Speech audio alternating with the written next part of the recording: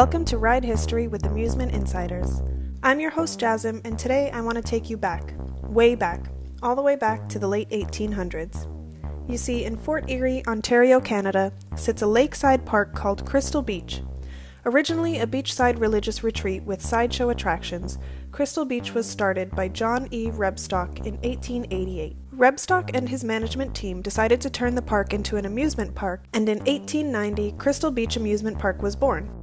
It was a popular spot in the summer with roughly 20,000 daily visitors in peak season and utilized steamboats to shuttle patrons to and from nearby Buffalo, New York. The owners regularly made investments to the park, and in the late 1920s, the Cyclone roller coaster was built, at a cost said to have been $176,000, by far the park's most significant investment to date. Cyclone was known to be a fearsome coaster, with metal supports, an intimidating claim of being the world's largest coaster of its kind, and a fairly vicious history.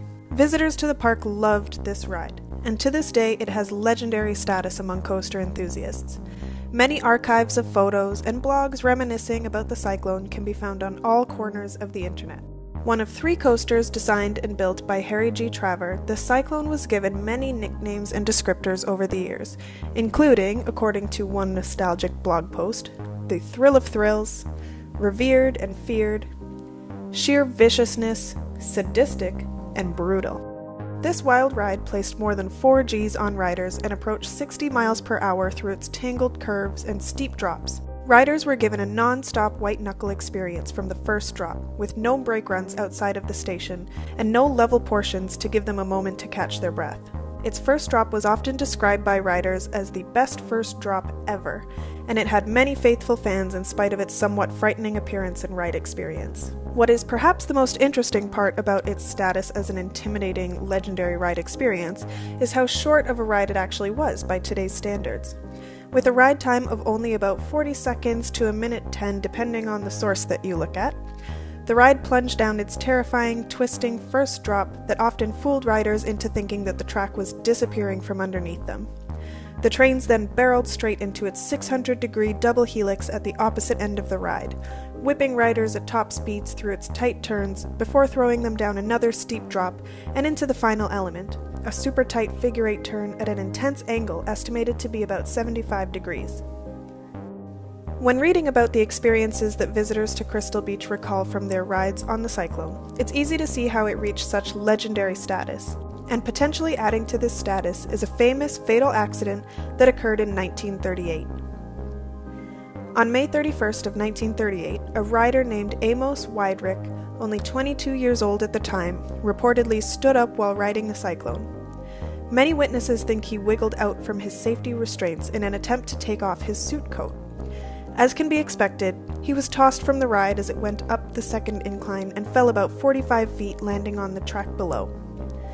At this point, his own train car was barreling towards his body, which lay across the tracks. And with no mid course brake run on the ride, the train was unable to be stopped before it collided with Amos, severing his head and his feet, and dragging his body partially down the tracks before the train stopped. While this incident didn't seem to dissuade thrill seekers from boarding the ride in the coming months, it did have a major effect on the future of the Cyclone, and there was a safety overhaul done in 1938, likely as a result of this tragedy, as well as the stress placed on the structure due to the wild, untamed nature of the ride experience.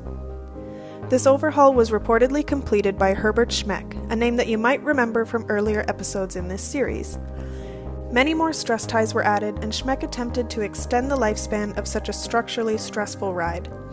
In fact, before this overhaul, the ride was reportedly so vicious on its structure that it was known for its unusual operating schedule due to consistent downtime and maintenance needs.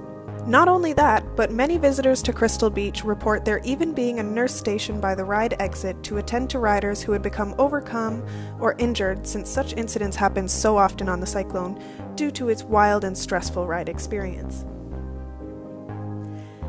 It's for this combination of reasons the structural stresses, the violent ride experience, and the fatal accident that the cyclone was approaching a new phase of its lifespan and was forced to evolve 10 years after the death of Amos Wiedrich.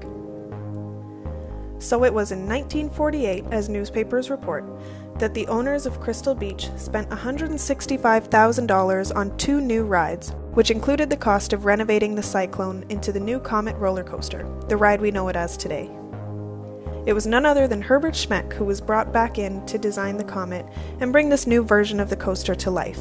Though he reused about 60% of the existing steel structure in his new design, keeping construction costs down, Schmeck had PTC engineer John Allen make many changes to the ride, essentially creating an entirely new roller coaster in PTC's Comet design for its fans to enjoy. The ride became known as the third of the Schmeck cousins, also often referred to as the triplets with Schmeck designing similar layouts for the Hershey Park Comet in 1946 and the San Antonio Rocket in 1947, which is actually currently still operating as the Phoenix at Knoebels.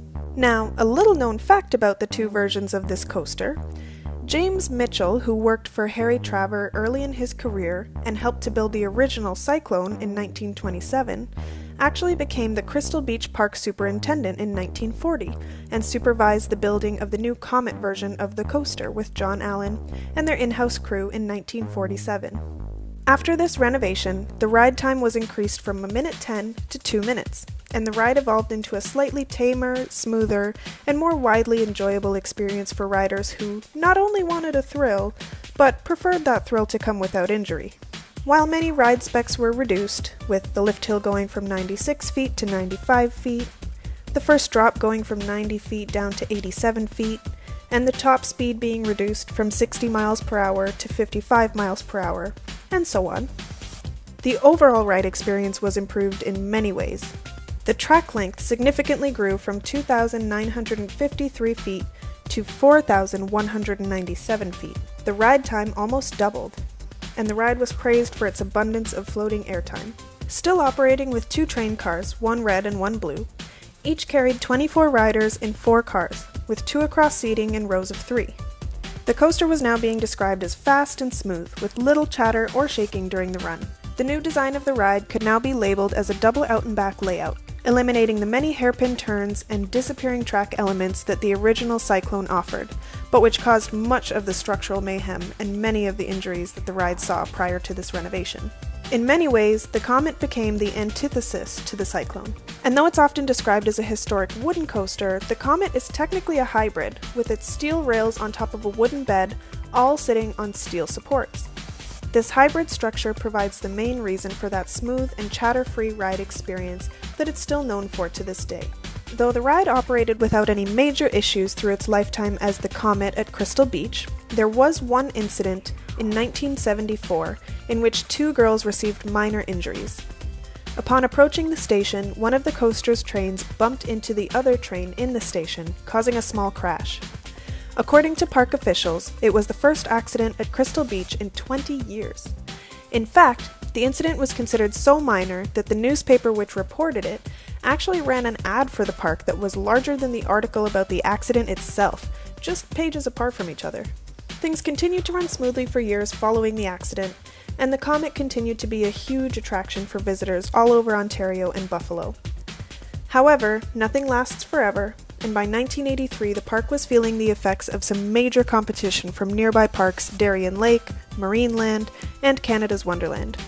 The theme park industry was growing rapidly, and some of the older parks were unable to keep up, including Crystal Beach, which was nearly bankrupt at the time. The park began making unfortunate changes in the name of attracting more visitors. One of these changes was actually offering riders of the Comet the choice of forwards or backwards rides throughout the 1980s. You can find plenty of video footage to this day of Comet trains in a sort of half and half fashion, with half of the train riding forwards and half riding backwards. Though this gimmick did bring in some additional visitors to try out the backwards ride, it wasn't a popular ride experience and something that you don't see on a lot of wooden coasters for a reason. In addition to adding in gimmicks like this, the park reached out for additional financial support and was briefly saved by the Canadian Imperial Bank of Commerce after going into receivership, meaning that the existing owners were not able to meet their financial obligations, and CIBC was entrusted with financial control over the park. With that said, new owners took over in 1984 and spent more than $2 million over the next three seasons to renovate and reinvigorate the park with new rides, attractions, and investments. Unfortunately, by 1989, attendance was still not up enough to keep up with the cost of running the park, and Crystal Beach declared bankruptcy. An unfortunate turn of events since the park had just celebrated its 100th season of operation the year before. As newspapers began to report the park's likely closure at the end of the 1989 season, fans of the Comet began to speak up and advocate for their beloved coaster. An entire Save the Comet movement began, and showed just how much of a place the Comet held in the hearts of those who had the chance to ride it. Perhaps in part because of the public outcry, park owners put the many rides and buildings up for sale at auction on October 17th of 1989 in an attempt to give them a second life. It was at this time that the Comet was sold for $210,000 to the late Charles R. Wood, who at the time was the owner of its current home. The Great Escape and Splash Water Kingdom in Queensbury, New York. Though the ride sat in storage for a few years at Fantasy Island, it finally made its way to Great Escape and reopened to the public on June 25, 1994. To this day, the ride still stands at that park, which now operates as Six Flags The Great Escape after 1996 saw the park being purchased by Premier Parks, who later acquired Six Flags and changed their park names accordingly. This ride is an awesome piece of history that Great Escape, under its different names, has managed to keep alive and running for almost 30 years now.